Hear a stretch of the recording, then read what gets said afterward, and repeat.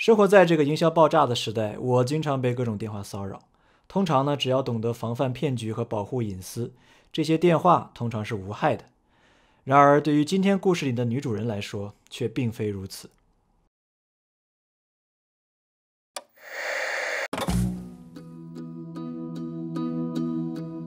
大家好，我是吉米，有阵子没见了。今天要讲的故事呢，发生在一九八零年。主人公 Dorothy Jane Scott，我们叫她多罗西，三十二岁。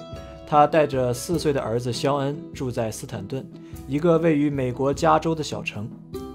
而她的父母住在十几公里外的安纳海姆，那里因为拥有世界上第一个迪士尼乐园而为世人所知。多罗西是个虔诚的基督徒，也是一个美丽、善良、安静的女人。不过，有熟人用乏善可陈来评价她，说她不大喜欢交际。但其实这并没什么好奇怪的。多罗西和她的前夫关系破裂以后，独自养育四岁的儿子肖恩。作为一个单身母亲，她在安娜海姆同时做两个店铺的文书工作，两家店都归同一个老板所有，而且都以当年流行的嬉皮士文化为特色。多罗西的工作很忙，而孩子的父亲又住在密苏里州，所以帮助照看肖恩的担子就部分落在了多罗西的父母雅各布和维拉的身上。好在呢，老两口也乐于外孙的陪伴，于是每天早上，多罗西先开车把肖恩放在父母家，然后再独自上班。多罗西在住处、父母家和店铺之间日复一日乏善可陈地忙碌着。就在1980年的年初，他无意中引起了一名神秘男子的注意。这名男子经常会打匿名电话给他，电话的内容一开始是表达爱慕之情。但电话那头的声音似乎让多罗西觉得有些耳熟，但他一直没能确定这个家伙是谁。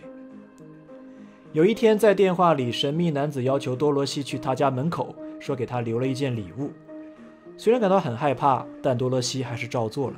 他走出门，在他那辆1973年款丰田旅行车的挡风玻璃上，找到了所谓的礼物，是一朵已经凋谢的玫瑰。所以，事情不只是骚扰电话而已。神秘男子已经知道了他家的住址，而更让人毛骨悚然的是，后来他在电话里冷冷地告诉多罗西，他打算把他切成肉泥，让他从世界上永远消失。面对这与日俱增的人身威胁，多罗西想到的办法是报名参加了女子空手道培训班。他也考虑过买一把枪放在家里，但一想到他的小儿子可能也会接触到，又打消了这个念头。一九八零年五月二十八日，像往常一样，多罗西先是把肖恩送去了父母家，而后开车去上班。当天呢，店里安排了一场员工会议，时间安排在下班以后，多罗西就留下来加班开会。会开到一半，他发现身边的一位男同事有些不对劲，看上去没精打采、迷迷糊糊的，总之很不舒服的样子。这名同事叫做康拉德。多罗西主动地提出要带康拉德去医院检查检查，另一位女同事帕姆也站出来要一起去。于是呢，晚上九点左右，三个人坐着多罗西的车去往加州大学欧文分校的医学中心。在去医院的途中，多罗西特意都回到父母家，和他们简单讲明了情况，说他会晚些来接肖恩。临走之前，他还把身上的黑色围巾换成了另外一条红色的。随后，在医院，康拉德的检查结果出来了。他不舒服的原因是他被黑寡妇蜘蛛咬伤了。黑寡妇呢？啊，不是这个啊。这种蜘蛛在加州比较常见，毒性强烈。但是因为送医及时，康拉德没什么大碍。医生对他做了处理，开了一张处方，最后叮嘱他们离开之前去药房取药。当时已经是晚上十一点多了。细心的多罗西看到康拉德走起路来仍然很虚弱，就决定先把车开到医院门口，这样病人就可以少走一段路了。他先去了趟洗手间，然后独自去停车场取车。这时候，帕姆陪着康拉德去了药房取药，没花多少时间，他们就在医院门口等着。然而，多罗西迟迟没把车开过来，于是两个人就准备去停车场与他会合。他们正往多罗西的车位走，突然一辆汽车速度飞快地开过来。他们认出那正是多罗西的旅行车，车向他们迎面驶来，又扬长而去，把这两个人留在了停车场上。大灯把他们的眼睛都晃瞎了。事情发生的太快，打了两人一个措手不及。他们当时想，也许是多罗西有急事赶着要处理呢，是不是他的儿子肖恩有什么紧急状况也说不定。接下来，两个人做了一个让人很困惑的选择，他们决定原地等待。这一等就是两个小时。到了凌晨一点多的时候，他们才打电话给多罗西的父母，询问他的去向。这通电话让两夫妇睡意全无，因为他们的女儿并没来接肖恩。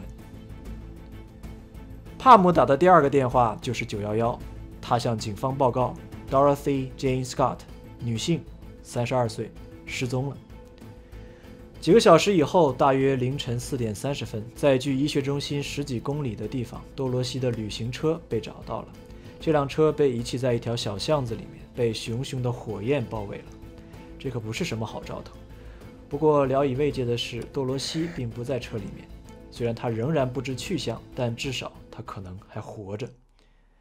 警方把事件定性为绑架案。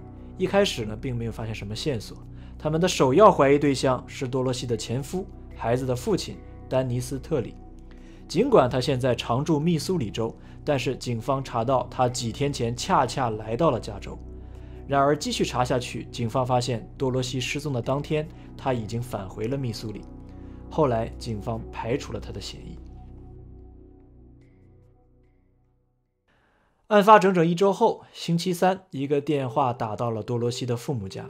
母亲维拉接起了电话，对方是一名男性，他带着嘲讽的口吻说道：“Are you related to Dorothy Scott? Well, I've got her.”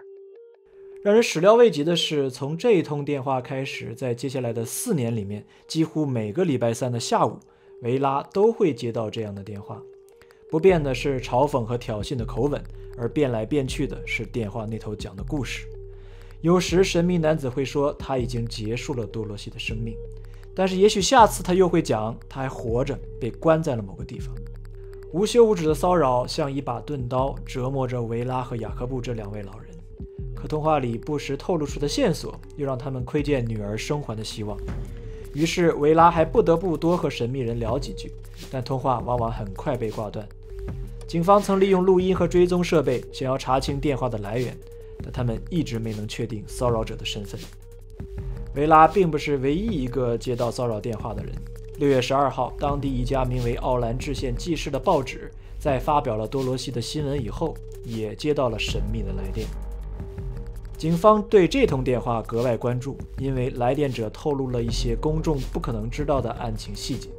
他知道多罗西换了红色的围巾，也了解康拉德被蜘蛛咬伤的事儿。甚至还说多罗西在医院给自己打了电话，而一同去医院的帕姆表示这绝不可能，因为在医院的时候他们两个一直在一起，多罗西根本没有联系过谁。不管怎么说，即使来电者提到的细节是在绑架多罗西之后看到或者问到的，他也得事先埋伏在医院才行。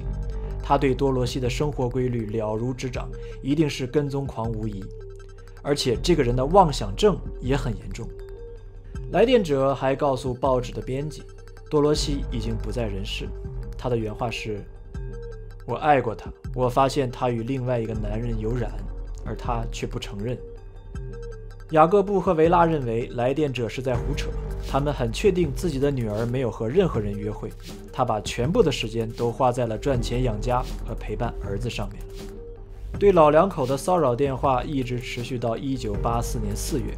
这天与往常不同，接起电话的是父亲雅各布，而那一头很快就挂断了。而且之后的几个月之内都没有骚扰电话再打过来。有理由怀疑雅各布的声音让神秘男子感到了不安。他是否担心他能够听出他的声音呢？他会不会跟雅各布非常熟呢？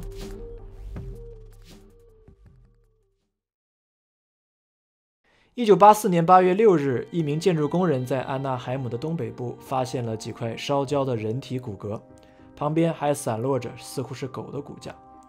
警方的调查人员认定，遗骸应该在那里有段时间了，因为一年多以前的一起大火摧毁了附近一百多座房屋，也在遗骸上留下了灼烧的痕迹。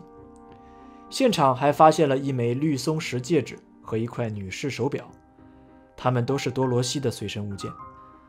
手表已经坏了，但他保留了一个关键的线索。它的时间最终定格在1980年5月29日午夜的12点30分，正是多罗西的车从医院的停车场驶出后不久。通过牙科记录的比对，遗骸最终被确认为多罗西。然而，至今为止，他离世的原因却仍然是个谜。就在遗骨被确认的两天后，神秘来电又回来了。在电话里，对方只阴魂不散地问了一句话：“Is Dorothy home？” 不幸的是，直到雅各布和维拉分别于1994年和2002年离开人世，他们的女儿应得的正义仍然还没有来到。距今已经四十年过去了，多罗西的儿子肖恩长大以后，仍然在继续寻求答案。然而到今天为止，这仍然是一桩未解的悬案。如果你喜欢这部影片，请点赞、订阅并打开小铃铛，也欢迎你给我留言。更多的细节我们可以在评论区里面讨论。在这里呢，提前祝朋友们节日快乐，Happy Holidays！希望大家都能幸福安康。我是 Jimmy，，这里是吉米调查局，我们下期再见。